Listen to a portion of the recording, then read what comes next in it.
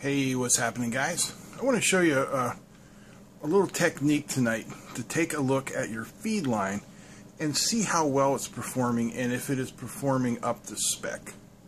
We're going to take be able to take a look at it and tell whether or not it is shorted or if you have common mode noise on your line.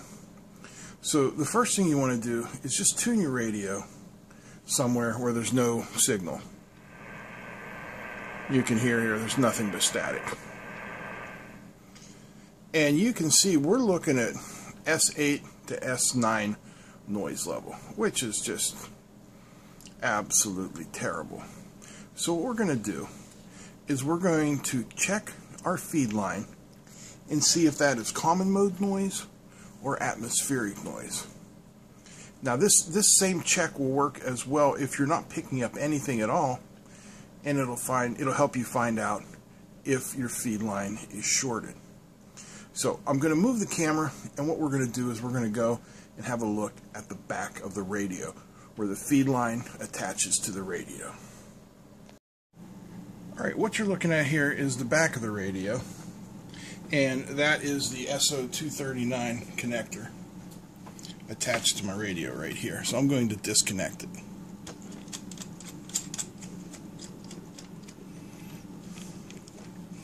So this is a three-step process. And the first step is to entirely disconnect your feed line.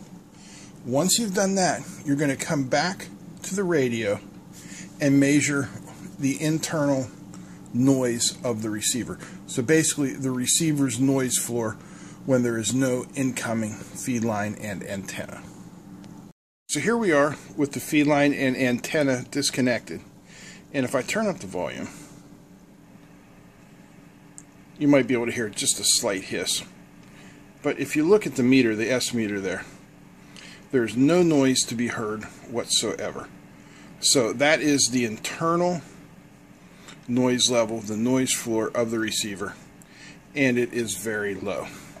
And just in case you're wondering, there's my RF gain turned all the way up. So no trickery involved here. Let's move on to step two and go back to the rear end of the radio. Here's my incoming connection, standard SO239 connector. What you want to do is simply unscrew the shield cover so that you have direct access to the pin. That's the center connector and if you don't connect the rest of this you have no shield going on at all. Alright, let's move to the radio. All right, focus. There we go. So there is our connector again here on the back of the radio. And there is our SO239 with the shield disconnected. So what we're going to do is just put the center conductor into the hole. Just like that. So I don't know how well you can see with that wire there. Do you see the gap there? See if we can move over here, give you a little better view. There you go. The shield is not connected at all. Now let's move back to the front of the radio.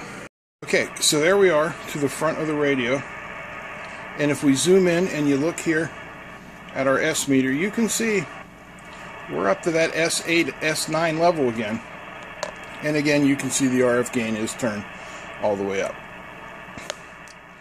So there's the noise coming in from the antenna and feed line.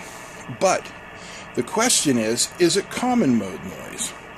What that means is, is there a signal traveling on the shield of that cable? Because there should only be differential signal traveling back and forth on the center conductor, not on the shield. If there is a signal traveling on the shield, that's bad. That's common mode noise. Now, step three of our test is going to tell you if you have common mode noise. So, I'm going to turn this up so we can hear the static again. And let's move back to the back of the radio. Alright, so here we are, back at the back of the radio, right where we left off. What I'm going to do now is push that all the way in and connect our shield. It's kind of hard to do with one hand. There we go. So, if when you connect this, if that static you hear stops, then you know that your feed line or antenna is shorted out. But we still hear the noise. So our uh, feed line and antenna is definitely not shorted out. Now, for the final step of the test, we're going to go back to the front of the radio and see if the noise level has increased. Alright, so here we are back to the front of the radio. And our noise level has increased very slightly. So that's telling us that the majority of the noise that is coming in is what's called atmospheric noise. It's noise that the antenna is picking up. It's not common mode. There is a slight amount of common mode, but not much. And in, in general, this radio does absolutely wonderful. So even though sometimes there's a little common mode noise going on, we're still doing pretty well. Kind of a crappy night here, though. There's a lot of interference going on there. Wow, there's a lot of interference. There's a signal there. Oh, you know what that is? That's Mexican radio.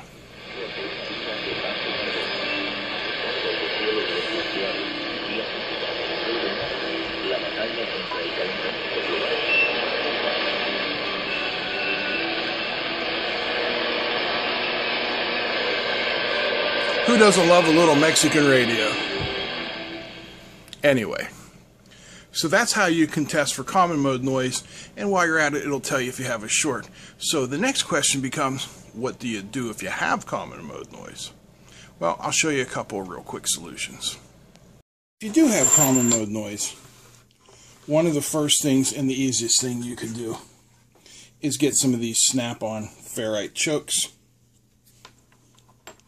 and put them on your feed line. You can put as many of these on there as you can fit. The more, the merrier.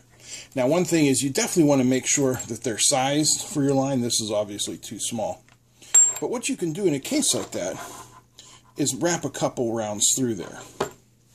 These are cheap. You can get like 20 of these for like $10. So this is a really good solution.